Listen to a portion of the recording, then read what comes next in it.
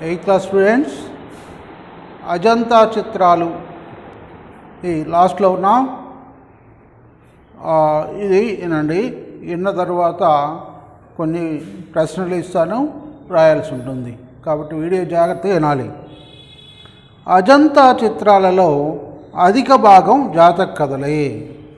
సిద్ధార్థుడుగా జన్మించడానికి పూర్వం గౌతమ బుద్ధుడు కొన్ని వందల జన్మలెత్తినాడని బౌద్ధ మతస్థుల నమ్మకం. పూర్వజన్మలలో బుద్ధుని జీవిత చరిత్రలే జాతక కథలు. ఉత్తమ మానవ జన్మలనే కాకుండా పక్షిరాజుగా గజేంద్రుడిగా ఎన్నెన్నో జన్మలను ఆయన ఎత్తినట్లు జాతక కథలు పేర్కొంటున్నాయి. ఈ వివిధ జన్మలలో కొన్నింటికి సంబంధించిన ఘట్టాలను అజంతా చిత్రాలలో చూడవచ్చు. అయితే అయితే అజంతా చిత్రాలనే జాతక కథలే కావు. జాతక కథలతో ఎలాంటి సంబంధం లేనివి ఎన్నో ఉన్నాయి. ఇంతేకాదు వెల్తిగా కాస్త చోటు కనబడితే చాలు. దానిలో ఏ ఆకునో ఏ రెమ్మనో ఏ పువ్వునో చిత్రించి వేశారు. అది ఇది కాకపోతే ఆ కళా తపస్సులు తమ కుంచుతో ఇటొక గీతను అటొక గీతను గీయటం ద్వారానే సౌందర్య సృష్టి చేశారు.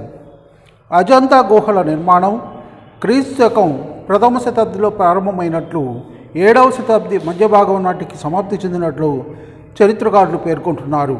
ఇంచుమించు ఏడు శతాబ్దాల పాటు కొనసాగిన అజంతా గుహల అలంకరణలో చివరి రెండు వందల సంవత్సరాలలో జరిగిన కృషి సర్వోత్తమమైనదని కళావిజ్ఞులు పలుకుతున్నారు.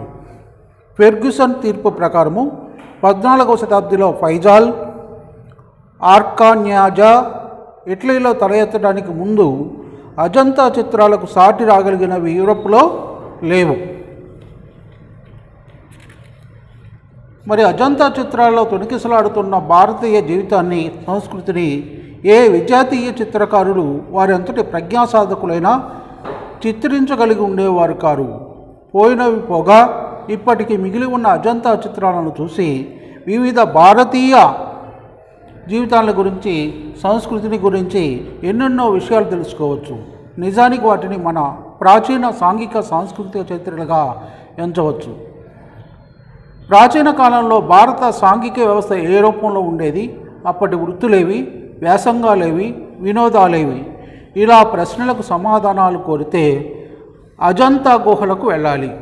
ఒకప్పుడు మన దేశంలో రాణ్ మందిరాలు ఏ విధంగా ఉండేవి? రాజుల రాణుల వేషభాషలేవి? రాజసభలను ఏ విధంగా తీర్చేవారు? అప్పటి సైనిక బల నిర్మాణం ఏ తీరులో ఉండేది? నాటి ఆయుధాలేవి? ఇలాంటి ప్రశ్నలకు ప్రత్యుత్తరాలను కోరితే అజంతా గుహలకు వెళ్ళాలి. ఇంతేకాదు అక్కడికి వెడితే మనం ఎన్నో కోణాల సమేతంగా భారత సాయుధ బలాలను సింహలపై దండయాత్రకు చేరవేసిన భారతీయ నౌకాదళాన్ని చూడవచ్చు.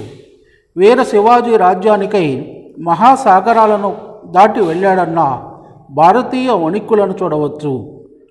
పర్షియన్ రాయబారులకు దర్శనమిస్తున్న భారతీయ మహీపాలకులను చూడవచ్చు. అన్నింటినీ మించి గౌతమ బుద్ధుని కారుణ్య సందేశం కేవలం మానవుని వికాసానికే కాక పశుపక్షాతుల జీవితాన్ని సైతం ఎంత పునీతం చేసిందో తేజవంతం చేసిందో చూడవచ్చు. అందువల్ల అజంతా గుహలు యాత్రాస్థలం కావలసింది చిత్రకారులకే కాదు భారతీయ చరిత్రలో విజ్ఞానంలో సంస్కృతిలో భవితవ్యంలో శ్రద్ధాభక్తులు కలవారందరికీ. ఓకే?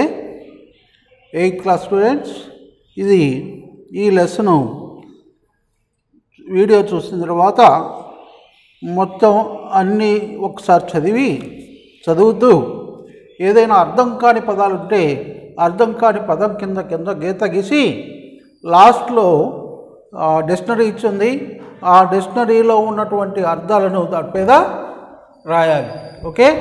టెక్స్ట్ బుక్లో.